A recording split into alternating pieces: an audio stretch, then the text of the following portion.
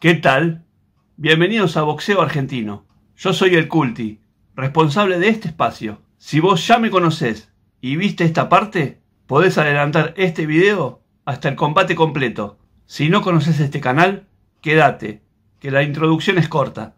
Como muchos sabrán, desde hace años vengo subiendo muchas peleas, pero en el último tiempo, esta plataforma ya no deja, y hasta me ha eliminado cientos de videos. Entonces tomé la decisión de hacer un último intento para traer los combates completos del boxeo argentino. Y es por eso que a partir de ahora, los videos tendrán un pequeño cambio. Mostraremos los rounds completos, pero me vas a ver acá arriba comentando bajito. No le des bola.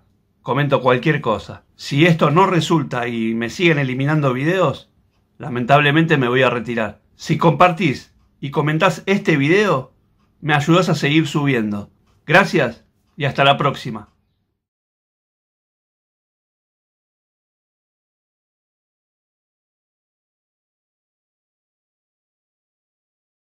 Primer round.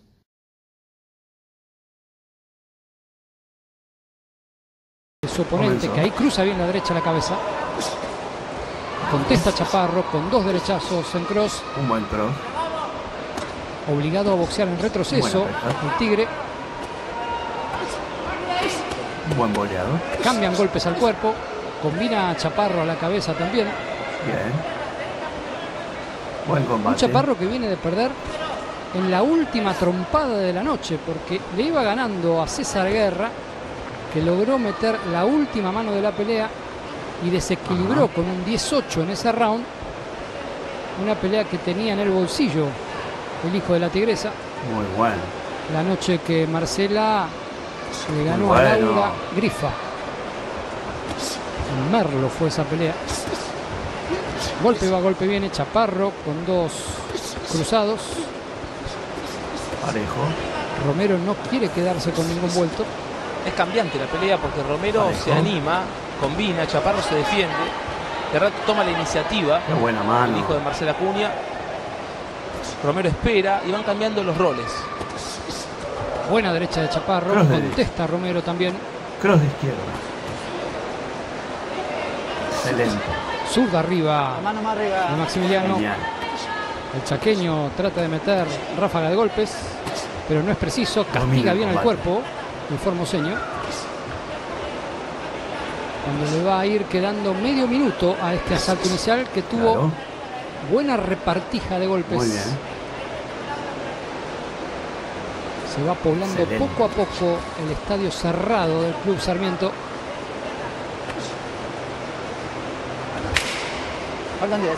Ajá. Amagaron a sonar las madritas, aunque la teníamos un poquito Buena desfasada guardia. respecto al reloj. Y ahora sí, final de la vuelta. Segundo round. Pareja la vuelta muy cerrada, Comenzó. el chaqueño de todas formas más seguro en su andar. Pareció imponer el ritmo de la vuelta y Chaparro acomodarse a lo que cross. le ofrecía el boxeador de azul. Sin embargo, Buena todo pesca. muy parejo, Marcelo. Arranca el round 2. Un buen boleado. Ambos vienen de perder, ya dijimos la última de Chaparrito, Bien. derrota ante César Guerra en Libertad, partido de Merlo. Y Guido Romero, la araña, fue vencido en octubre por puntos en 6 con Juan Balbuena en Dolores, Buenos Aires. Allí cayó en la segunda vuelta Romero.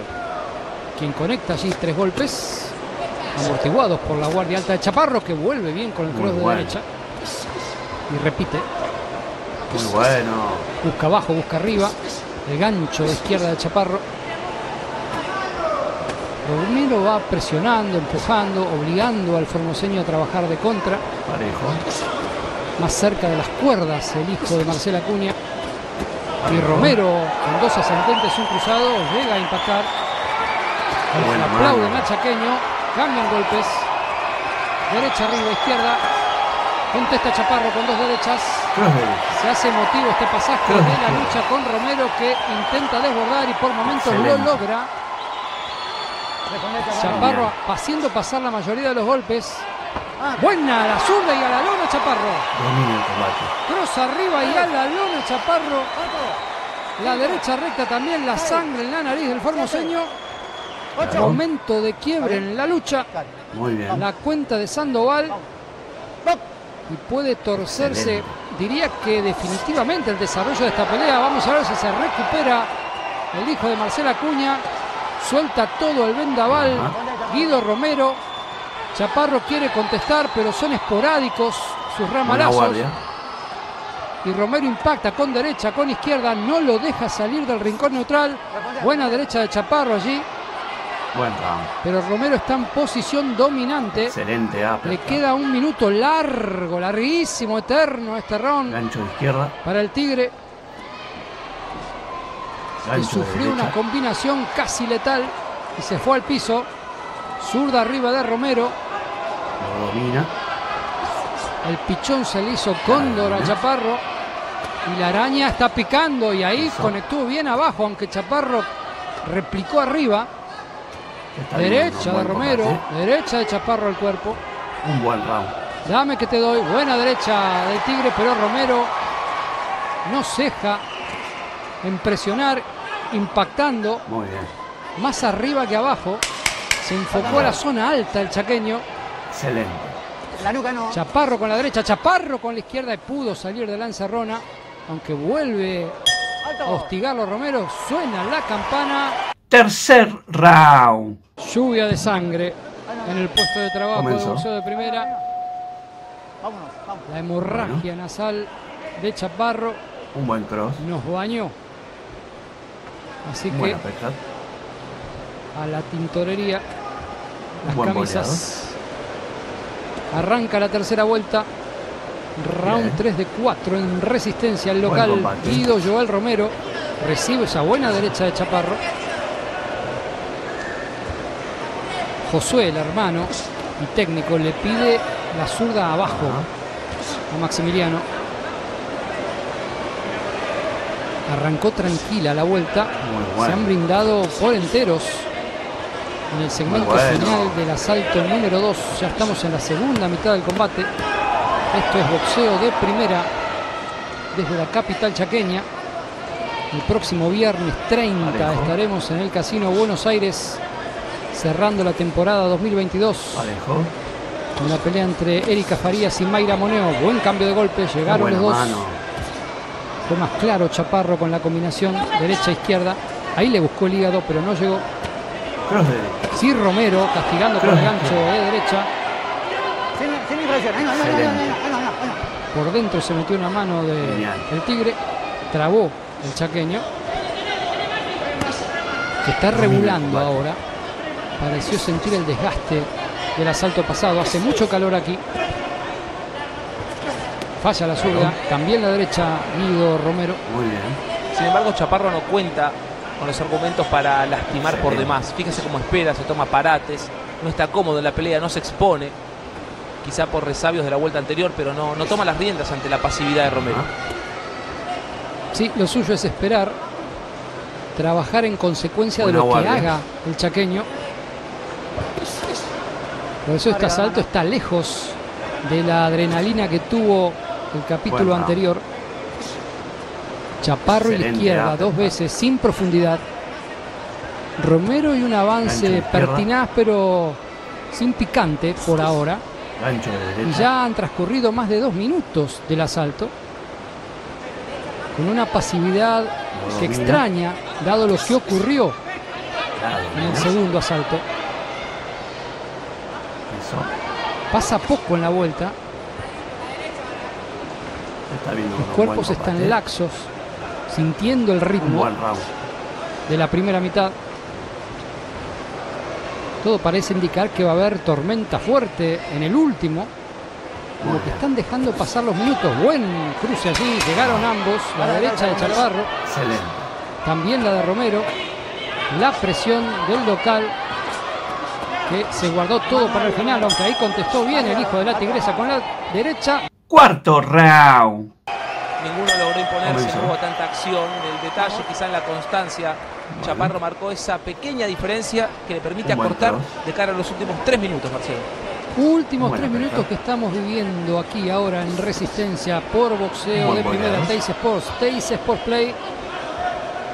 Diciéndole adiós Bien. al año 2022 boxístico con un Romero que soltó Amarras desde temprano en la vuelta y conectó dos buenas izquierdas. Pero Chaparro ahí contestando con derecha, con izquierda. Esperando demasiado ahora el formoseño. Castiga abajo y arriba el de Chaco. Ahora distribuyendo Muy mejor bueno. sus golpes. La zona Muy baja y bueno. zona alta. Romero, acicateado por su rincón, va a buscar. No quiere dejar dudas. Más allá que metió la foto del combate con ese Parejo. knockdown que le propinó a Chaparro en el segundo episodio. Un minuto ya pasó de la vuelta. Josué Chaparro le pidió a su hermano que se tome el primer buena minuto y luego intensifique. Y Romero conectando la derecha en cross. Trata de devolver Chaparro. Romero y la izquierda abajo. Cambio fallido. Romero acertando la diestra, la zurda, otra derecha más. Domina el No combate. sale del encordado Maximiliano Chaparro, el de pantalón negro, el hijo de Marcela Cuña, que se debe estar comiendo las Claro. uñas con sus manos vendadas en el camarín, espiando que esta pelea. Romero es mejor en la corta. Cuando se ubica en esa posición, Chaparro no puede, o no sabe, o no quiere salir. Y sufre, fíjese, ahí, esa es la zona del chaqueño. De acuerdo a los récords, el favorito era Chaparro con 3-1 de palmarés contra los dos Buena guardia. combates ganados, 5 perdidos y un empate del chaqueño.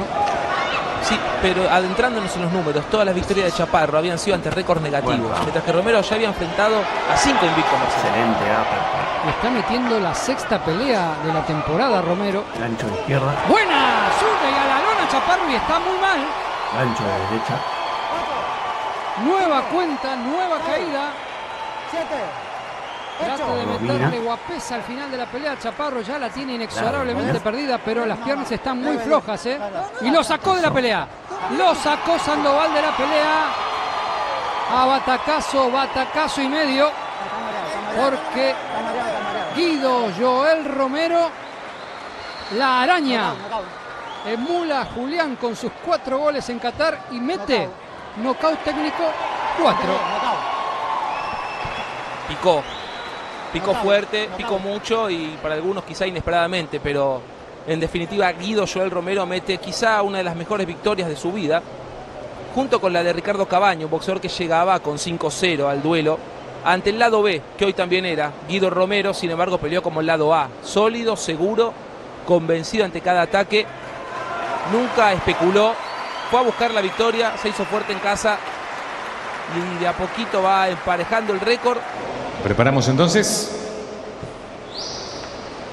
en esta primer pelea después del Mundial, primer velada de box de Resistencia Chaco. Fallo de la pelea. Ganador por nocaut en el cuarto asalto del barrio Juan José del Valle, de Resistencia, provincia de Chaco, Guido Romero. Picó la araña y picó fuerte. Nocaut 4 al hijo de la tigresa Maximiliano Chaparro en la primera de la noche.